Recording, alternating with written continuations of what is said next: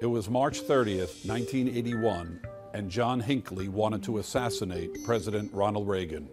Hinckley waited outside the Washington Hilton Hotel with a revolver as Reagan exited following a speech. He fired six times.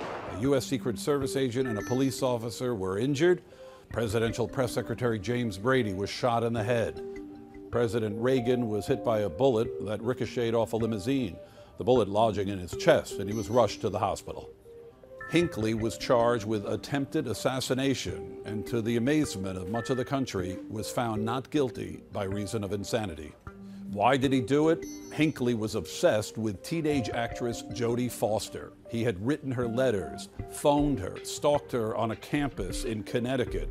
He believed that only by killing a president would he be able to impress Foster. Hinckley was then confined at St. Elizabeth's Hospital in Washington for nearly 35 years.